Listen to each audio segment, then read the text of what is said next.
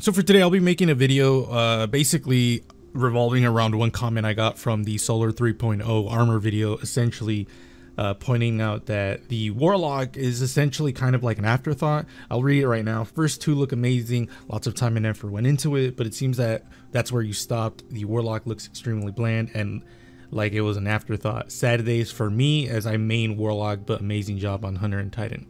And usually these kind of comments kind of uh, they don't piss me off really. Uh, they make me a little sad more than anything else because the Warlock is, is actually the the class I spent the most time with because the Hunter and Titan I really knew what I wanted to go with. Uh, I knew I wanted to go with the helmet for the Titan and I knew I wanted to use the new shader with it. The Hunter, same thing. I knew I wanted to use a Carminica shader because that one specifically has an orange glow and coupled with the boots from the solar armor, I need I knew I needed to use an orange uh, shader. So the funny thing is the warlock actually took me the longest because I was like throwing ideas around on what I wanted to use.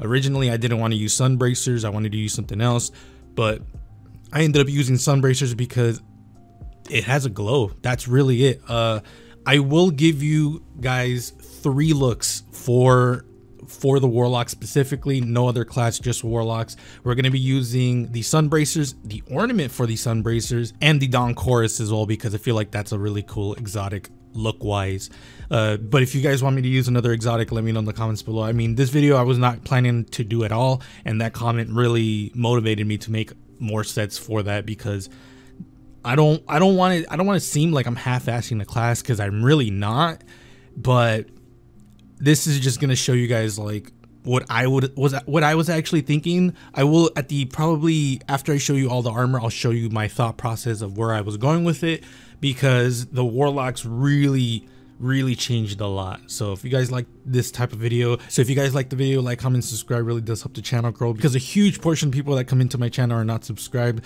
So if you can do me a favor like comment subscribe really does help the channel grow. Only if you really like the video honestly but other than that let's get into it. So this is my warlock. This is one of the looks that i have so far. This is I'm using sun bracers for this one just because of the glow honestly. If there was more sun or if there was more exotics that had a glow I would easily be using them. But they have to have a, a certain uh, amount of checkpoints that I have in my head. Like first, they have to be able to be used for the solar subclass. So I can't be using something that's for arc because that would make no sense.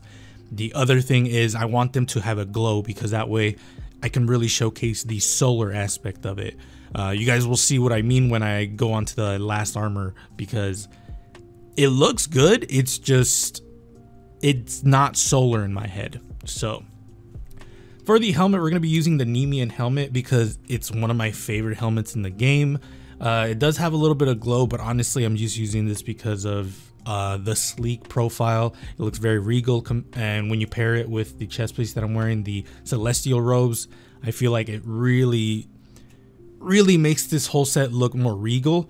This is what I should have done for the Warlock in that video because this is using the Carminica shader, which is one of my favorite shaders. The Hunter was using that.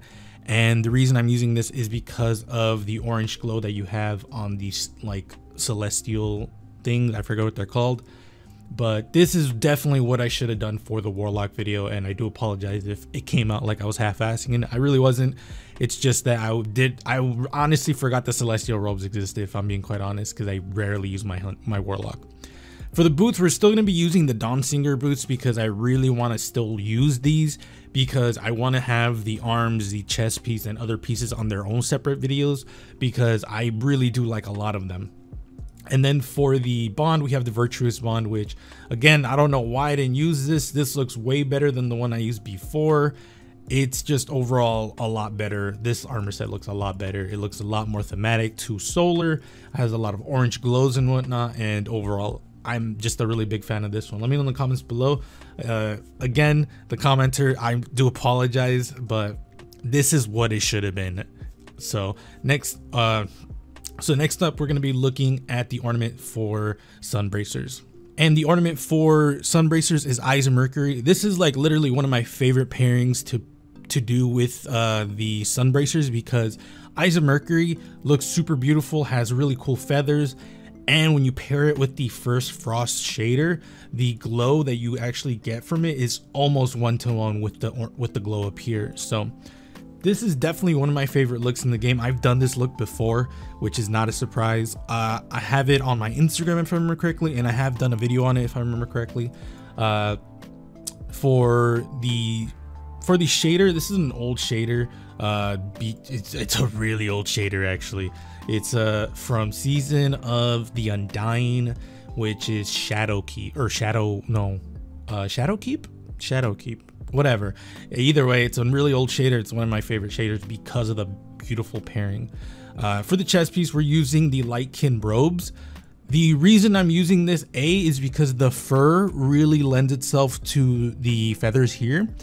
And I also didn't think I would need another glow source because I already have enough glow sources. I don't think I need more. I think right where I'm, I'm at is fine. You uh, For the helmet, we are using Celestial Cover, but if you don't want to have the helmet have a glow, which is fair considering we have a lot of pieces that are already glow, then you could use the other piece that I was wearing before this one, which is either the Seventh Seraph hood, which I actually like. You could use Pathfinder's visor, which I'm not the biggest fan of, but the one I was using is Iron Forerunner. I love this helmet combination uh, with combination of everything else. I feel like this looks very good. Uh, but the reason I'm using the helmet is because I feel like it does pair itself better because it has the glow uh, for the boots, we're using the Virtuous boots. This one is one of my favorite boots in the game for Warlocks, considering it's one of the only ones that have a really good glow onto them. Uh, there's other pieces that do have glows, don't get me wrong, but they're pathetic. Most of them are pretty bad, or like specifically this one, you can't change the white. So the Virtuous set is going to be the best set if you want to showcase your boots have some sort of glow. And then for the bond, we have Lux Bond. This is one of my favorite bonds as well because the glow is so really, it's really well done. If you don't want to use this and you want to use a more brighter look, you could do the Liminal, uh, Liminal Voyager Bond. You can use this one. This one's also really good. Uh, the reason I'm using it is because I always pair it with it, and I actually really like uh, wherever. Yeah, here it is, Lux. I, I really like how the Lux Bond came out with it. So this is Eyes of Mercury, definitely one of my favorite ornaments in the game for Warlocks because it it makes the Sunbracers have a different glow. Uh, the reason I didn't do this for the solar look is because for me, when I think of solar, I think of orange, I think of red, I think of yellow. Like, I think of those colors specifically, which is why I didn't use Eyes of Mercury. But I'm using it here just to showcase like you can do something like this as well, which I think looks really cool. Next one is Dawn of Chorus, and then we'll get into the nitty gritty of how that video came to be.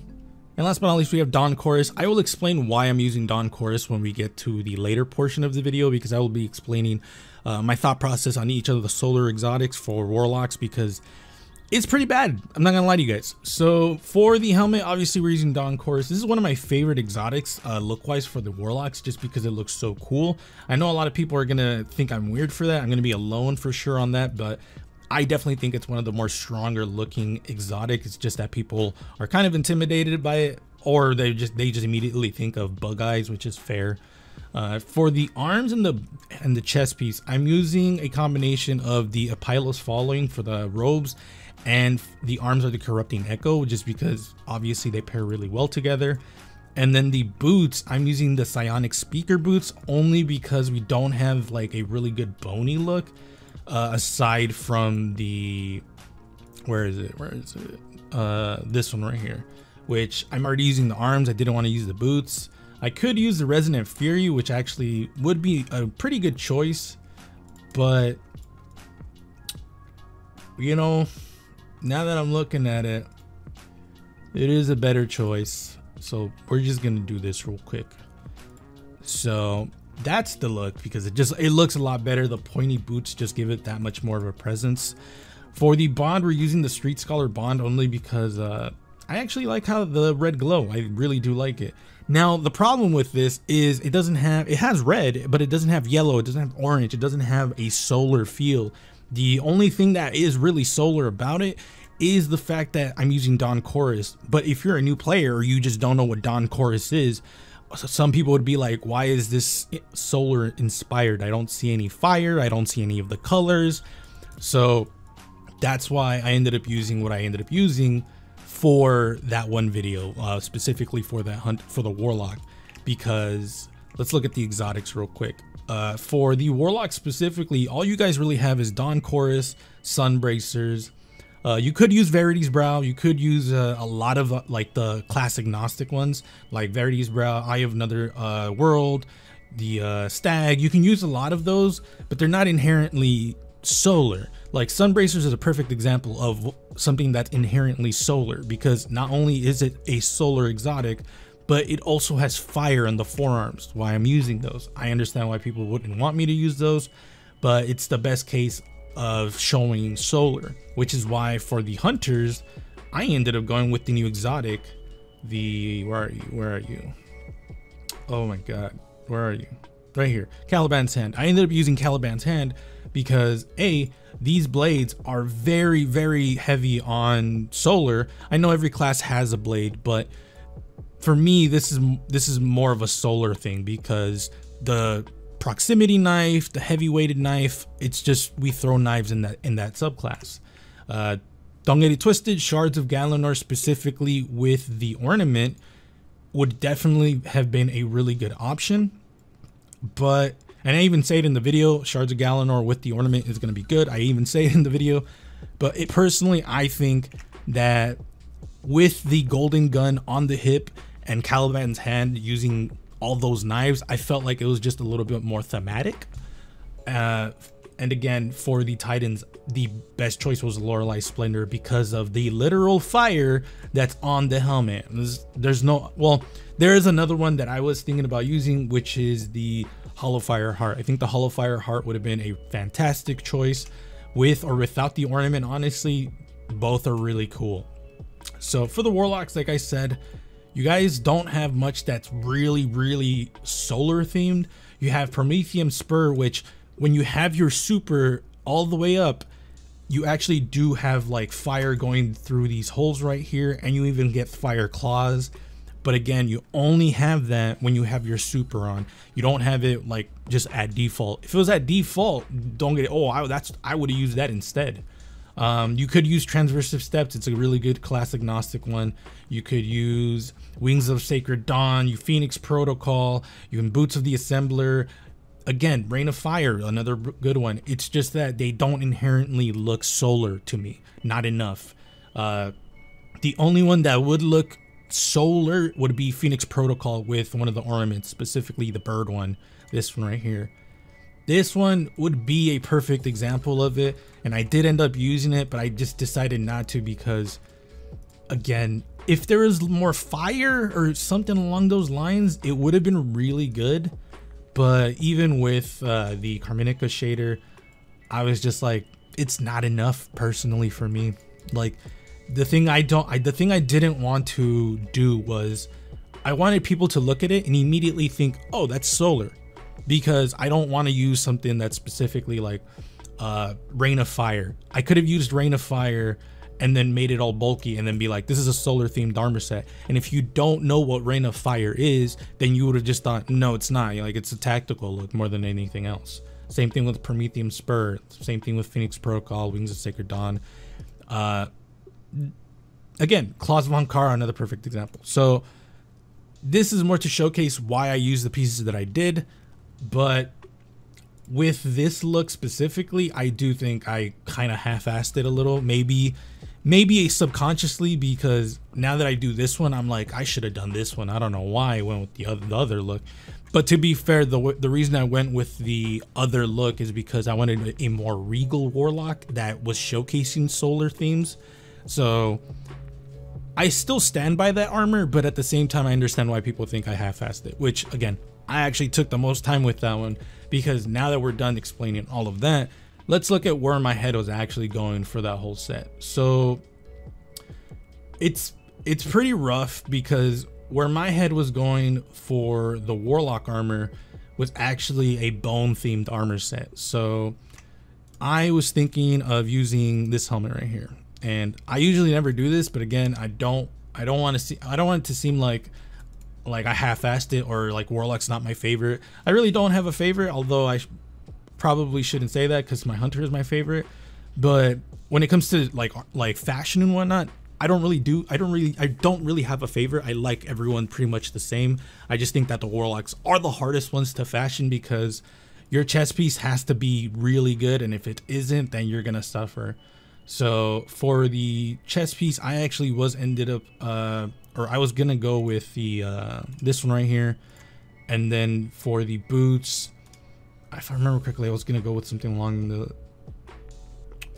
Wait a minute. Wait a minute. I'm trying to trying to remember because this was like two weeks ago, so my memory's a little hazy on it. Um. So I think this one. So somewhere around like this, I was going for, and here's the problem: a the bone up here doesn't change color. This is this is a color that's just gonna stay like that all the time. Uh, B this has to this has to match this color up here because they're both bone colored. And the other problem is depending on what shader I put it at, it will actually change the glow on the helmet. So now my head was going to I have to match this color but also not change the color of here because I'm obviously trying to combine it with the with the with the arms so there's a few shaders I was going for. If uh, my hands keep uh, can't stop shaking I'll show you guys. So again uh, I was going for a specific shader which kind of freaked me out. This one.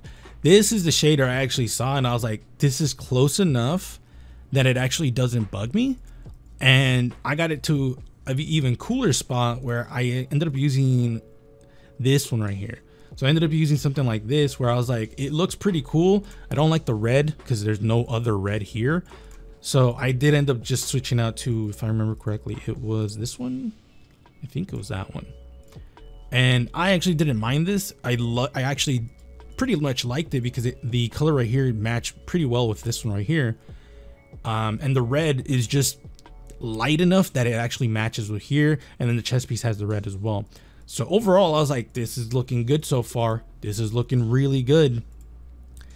And uh i think one of the reasons i just didn't go for it is just because i felt like i was reaching too much. Like if i'm being honest this bone color is not the, a one-to-one for that. Like it really is not. It's very close but i feel like this is a little bit more desaturated than this one.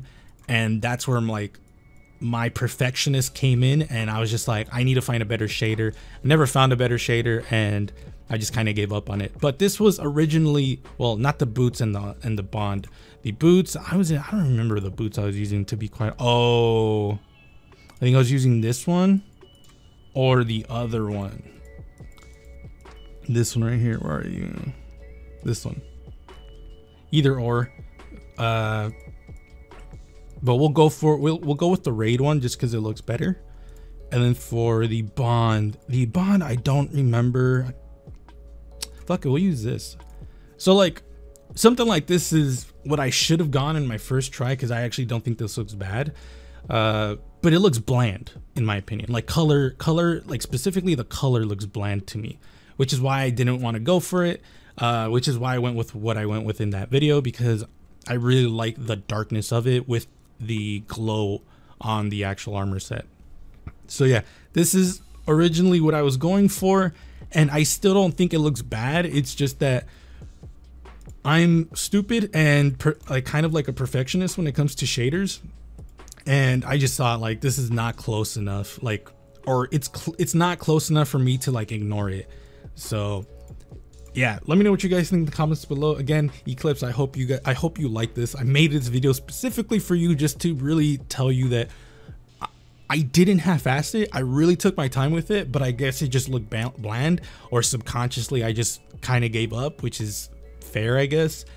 So hopefully these armor sets really showcase that I really did. I really do try with the Warlock because the Warlock's the hardest one for me personally uh, because if the chest piece is off, everything is gonna look terrible because the chest piece is literally the whole armor set. If I'm being honest, so Let me know what you guys think in the comments below. If you guys want to follow me on my social media outlets, links in the description below. Again, I appreciate you all, and I don't want it to come across like I hate a class or anything because like I really don't. I like all the classes. I love all the fashion in this game.